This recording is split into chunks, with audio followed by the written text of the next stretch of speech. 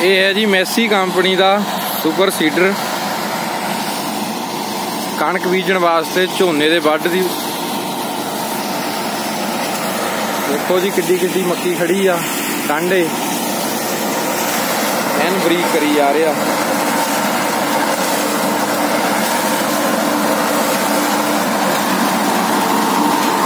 Messi company ਵੱਲੋਂ ਤਿਆਰ ਕੀਤਾ ਆ।